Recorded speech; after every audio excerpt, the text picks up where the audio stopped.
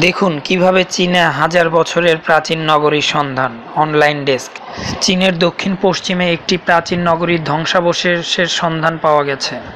প্রত্নতাত্ত্বিকরা ধারণা করেছেন এটি এক হাজার বছরের পুরনো তাং রাজত্বকালের ছয়শো আঠেরো থেকে নয়শো সাত খবর সিনহুয়ার। প্রত্নতাত্ত্বিকগণ ইয়ানু ইউনানের মৃদু প্রদেশে খননকালে প্রাচীন নগরীর কয়েকটি দেয়ালের অবস্থান দেখতে পান।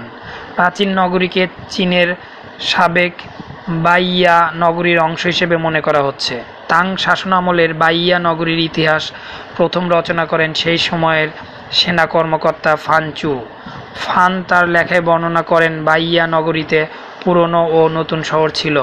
উভয় শহর ঘনিষ্ঠভাবে যুক্ত ছিল। কিন্তু ঐতিহাসিক ও প্রত্নতাত্ত্বিক জি লিং দাবি করেন, এর আগে আবিষ্কৃত পুরনো শহরটি নতুন শহর থেকে দুই কিলোমিটার দূরে অবস্থিত, যা ফান বর্ণিত তথ্য থেকে ভিন্ন। জিলিং বলেন, নতুন আবিষ্কৃত ধ্বংসাবশেষে নতুন শহরের কাছাকাছি, তাই আমরা অনেকটাই নিশ্চিত এটি পুরনো শহরের ধ্বংসাবশেষ। তিনি বলেন, খনন কাজ চালিয়ে যাবার পর আমরা বিস্তারিত জানতে পারব। দেশি ও বিদেশি তথ্য উপাত্ত ঘেটে বাইয়া নগরী সম্পর্কে কম তথ্য পাওয়া গেছে। তবে প্রাপ্ত ধ্বংসাবশেষের ওপর গবেষণা করে পশ্চিম ইউনানের প্রাচীন সভ্যতা সম্পর্কে জানা যাবে বলে আশা করা হচ্ছে।